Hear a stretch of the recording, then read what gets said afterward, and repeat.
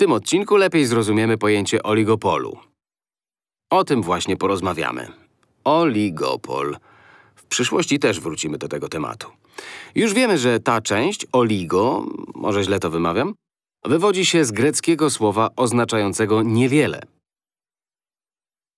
A przyrostek pol pochodzi od greckiego sprzedawać. Nie próbuję was oszukać. Przedrostek poli, przedrostek jak w słowie poliglota czy poliwalentny, oznacza coś odwrotnego, bo wiele.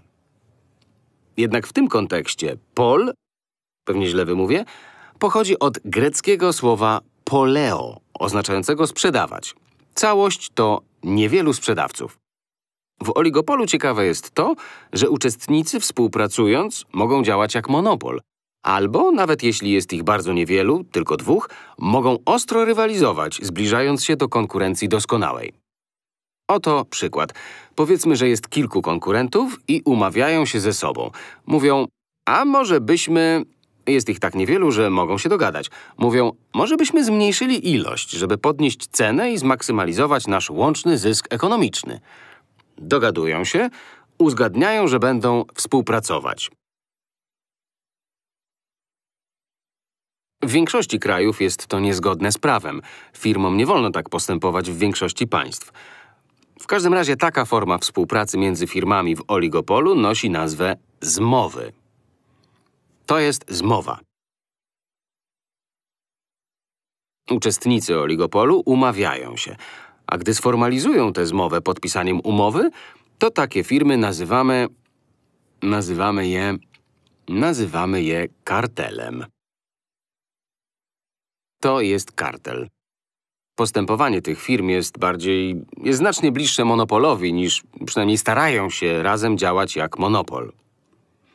Najsłynniejszym kartelem jest OPEC. Są też kartele narkotykowe. Na tym się nie znam. Pewno nazwano je tak, bo są w zmowie, narzucają ceny i ograniczają podaż. Lecz najsłynniejszym i najbardziej wpływowym kartelem jest OPEC. OPEC czyli Organizacja Krajów Eksportujących Ropę Naftową.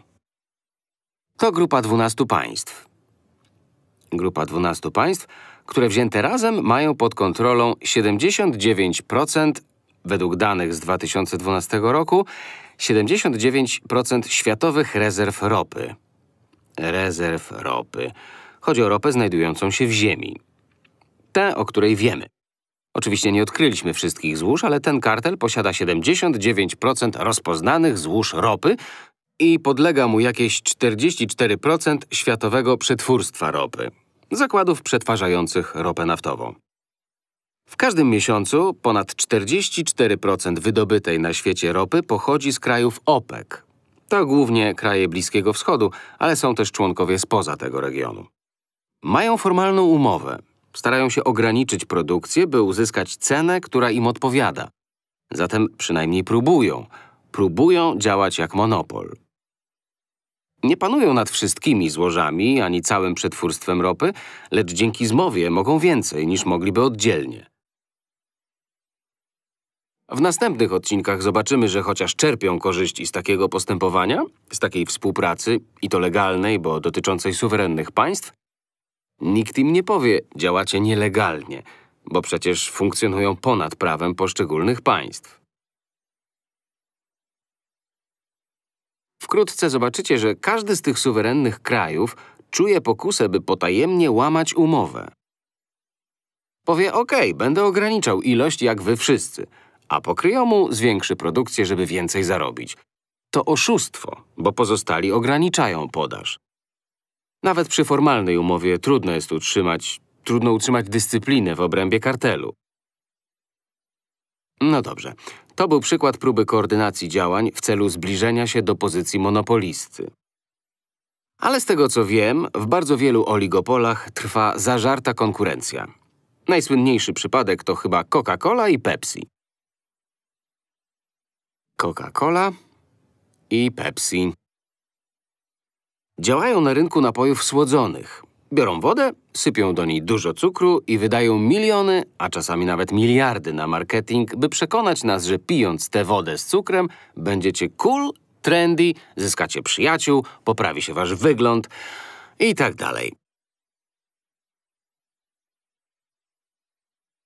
Te firmy zażarcie konkurują.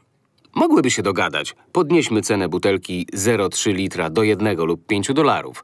Jeśli wy to zrobicie, my też. Ale nie, konkurują w cenach, a także w marketingu. Tu konkurencja jest naprawdę ostra. To szczególny przypadek oligopolu z tylko dwoma podmiotami. Z dwoma głównymi podmiotami. To tak zwany duopol. Duopol. Innym przykładem duopolu są Boeing i Airbus. Boeing, Airbus. Jeśli podróżujecie samolotami cywilnymi, zwłaszcza nowymi i dużymi, to zawsze lecicie albo Boeingiem, albo Airbusem.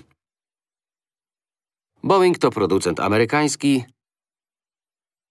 Airbus europejski. I chociaż Boeing zawsze narzeka, że Airbusa wspomaga Unia Europejska, a Airbus zawsze narzeka, że Boeinga wspiera rząd USA, to zażarcie konkurują ceną. Uwijają się, by kraje i linie lotnicze kupowały ich samoloty. Inne przykłady oligopolu z konkurencją silniejszą niż na przykład w OPEC to linie lotnicze, czyli klienci tego duopolu producentów. Linie lotnicze. Wymieniam je jako przykład branży, która wydaje się spełniać warunki konkurencji doskonałej. Miejsca w klasie ekonomicznej w większości linii lotniczych są właściwie takie same. Informacja cenowa jest bardzo dobra, lepsza niż w niemal każdej innej branży, tylko konkurentów jest niezbyt dużo. Są świadomi swojego istnienia, każdy zna ceny innych. Nawet analizują ceny innych, by na tej podstawie ustalić swoją. Nie ma aż tylu konkurentów.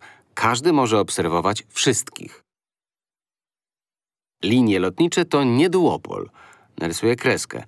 To nie duopol, ale niewątpliwie przykład oligopolu z sytuacją na rynku zbliżoną do konkurencji doskonałej. Są inne oligopole, przykład systemy kart kredytowych. Mamy więc Visa, Mastercard, Mastercard, American Express. Dwie pierwsze dominują na rynku. Znów niewiele podmiotów, ale nie dogadują się, a przynajmniej o tym nie wiemy. Te firmy konkurują ze sobą. Zdarza się jednak, zwłaszcza w oligopolach, że na jaw wychodzą jakieś potajemne układy. Firmy mówią na przykład ustalmy, że nie zwiększamy produkcji lub utrzymujmy wysokie ceny. Obaj to respektujmy. I wtedy wkraczają organy państwowe. Wprowadzają przepisy mające sprawić, by między podmiotami na rynku nie dochodziło do takich zmów. Ponieważ większość państw chce uzyskać warunki jak najbliższe konkurencji doskonałej. I już wiecie, że im bliżej konkurencji doskonałej i im dalej od monopolu, tym wydajniejsza produkcja, tym większa łączna nadwyżka i tym większa część tej nadwyżki trafia do konsumentów.